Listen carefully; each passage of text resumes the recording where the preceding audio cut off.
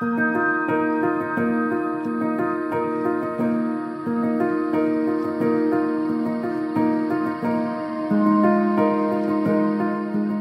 main drivers of the economy agriculture, livestock, tourism, forestry, and fisheries are vulnerable to climate change. The agro industrial waste is mostly dumped or burnt. The unregulated landfilling not only releases methane, a greenhouse gas 21 times stronger than carbon dioxide, but also pollutes rivers and has adverse effects on the well being of the local communities.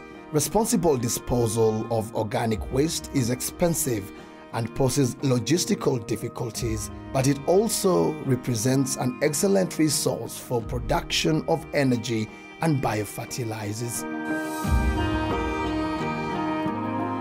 Together with the international community, UNIDO made a commitment to end poverty, protect the planet, and ensure prosperity for all by 2030 through 17 development goals. UNIDO is the specialized agency of the United Nations that promotes industrial development for poverty reduction, inclusive globalization, and environmental sustainability. UNIDO's mandate is fully recognized in SDG 9, which calls to build resilient infrastructure, promote inclusive and sustainable industrialization, and foster innovation. It is in UNIDO's vision that women and men equally lead, participate in, and benefit from inclusive and sustainable industrial development. UNIDO considers gender mainstreaming as a key strategy for achieving gender equality and the empowerment of women. The project was informed by recommendations provided by gender analysis conducted at the inception phase. UNIDO and the Global Environment Facility teamed up to take advantage of the waste to energy potential by creating investment-friendly environment for private sector companies in agro-industrial sector. We have partnered with uh, UNIDO uh, to develop uh, standards in uh, biogas. Uh, the biogas uh, standards we are developing the, for the farm scale and industrial scale installations. the process started by identification of a need by UNIDO that there was a gap in farm scale and industrial scale standards in the country. And then uh, they approached KEBS and uh, submitted a request uh, for us uh, to develop the standards. Local beneficiaries and experts work side by side to increase knowledge, develop technical skills, and create information and best practice platform for waste to energy technologies. We have a number of companies uh, which have been supported to process these industrial wastes into as feedstocks for energy generation. For example, talking about tropical power, which is already generating uh, with a capacity of 2 megawatts to, to generate electricity, this is a positive contribution which has been uh, supported by GEF through UNIDO. UNIDO is working towards uh, filling the regulatory gaps by establishing standards for medium and large-scale biogas technology.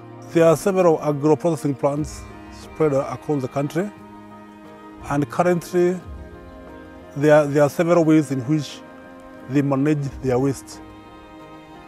For some of the companies, their waste is a nuisance, is dumped in the environment, for others, at a small scale, such as breweries, it is used for feeding livestock, but the majority of the agro-processing industries have a challenge with managing waste because they just dump it in the environment at the same time, three agro-industrial sites are receiving incentives based on their installed capacity. Olivado generates both power and heat from the waste of production of avocado oil located in Murang'a County, where agriculture is driving the local economy. The electricity produced is satisfying the demand of the company, while heat is used for heating the water for processing they are making use of all the byproducts Solids are used for biofertilizer, while the liquid is recyclable.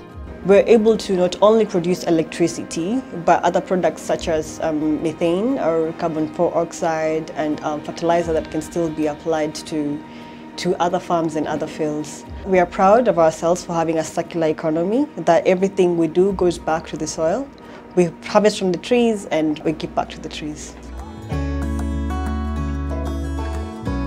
Lake Naivasha's serene sceneries attract local and international tourists alike. The region is also a proud producer of flowers, mostly wild famous roses. Tropical Power uses waste from the nearby rose farms in Naivasha to generate electricity to inject it to the national grid. At the same time, it offsets the equivalent of 758 tons of carbon dioxide GHG emissions per year. Initially, when we started this process, our projections showed that the feedstock that we were going to get was going to be consistent and of, of a certain quantity.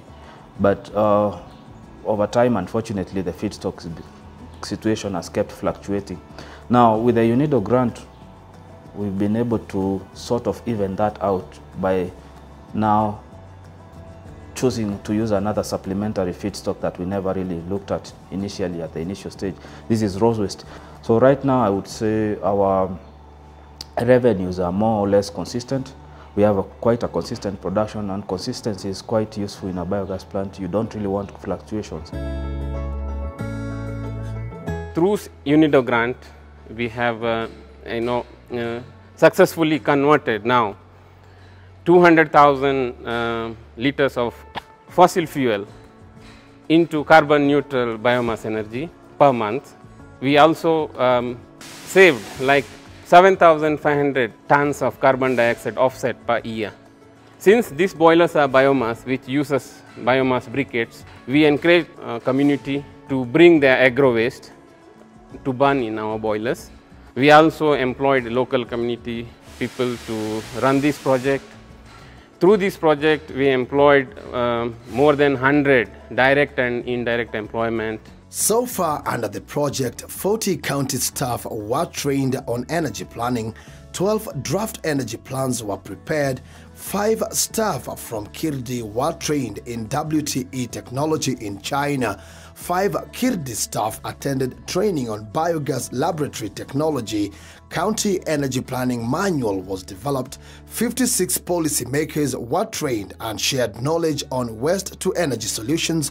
Agenda impact assessment was conducted at inception phase. Fully equipped biogas laboratory at Kirdi fully equipped information best practice platform at Kirdi, development of biogas standards at KEBS, 12 lecturers of Jomo Kenyatta trained to be trainers on energy plans. UNIDO came in and uh, it has provided us with the necessary tools, uh, equipment, um, uh, facilitations, which have enabled us to move a step further in realizing the goal of of, uh, of having uh, waste to energy technologies in our country um, being successful.